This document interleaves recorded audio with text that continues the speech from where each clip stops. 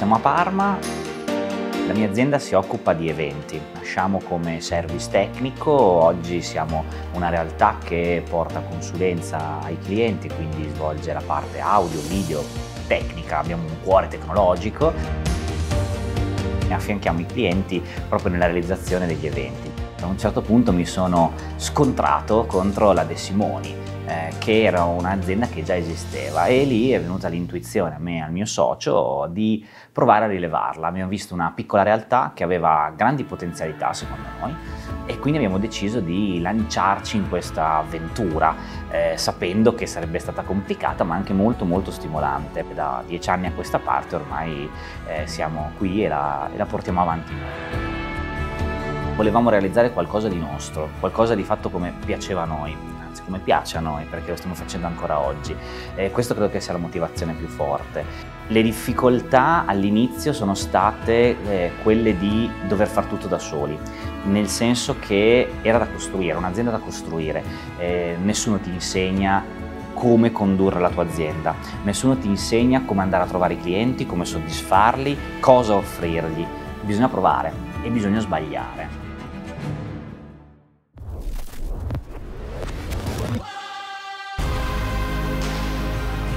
Valore della mia azienda è fatto da, dalle persone, non è fatto da, dal materiale, non abbiamo prodotti, non abbiamo brevetti, eh, ma noi facciamo servizi, facciamo un tipo di lavoro in cui si sta insieme per tanto tempo, perché durante gli eventi magari si parte, si sta via anche 3-4 giorni, a settimana e si vive di fatto insieme. Quindi eh, i rapporti umani sono, sono molto importanti, diventano centrali. Essere pronti alle sfide domani che sappiamo di non sapere,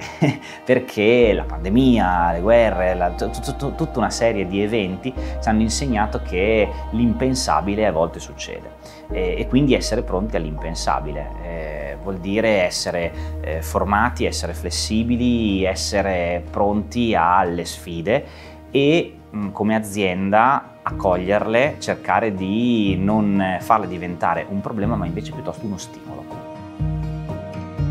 fare l'imprenditore credo che non sia una scelta solo lavorativa, ma più una scelta di vita, perché eh, va a toccare comunque, eh, volente o nolente, eh, molti più aspetti eh, della vita, ha necessità di molto più impegno rispetto a una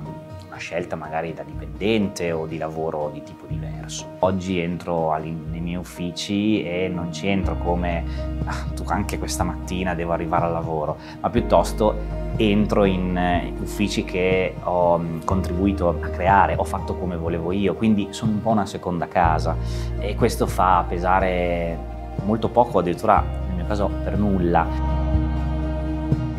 fortuna di chi vuole fare l'imprenditore è che quello che vai a creare è quello che vuoi tu, è quello che è fatto come sei tu e quindi diventa veramente leggero poter riuscire a lavorare, quindi è, è la parte negativa ma anche molto positiva. Ci vuole tanto coraggio, eh, però se il, questo cambio effettivamente eh, va a riscrivere quelle che sono le regole, eh, si, ci si ritrova a fare qualcosa di bello, di fatto bene e soprattutto veramente che può fare la differenza.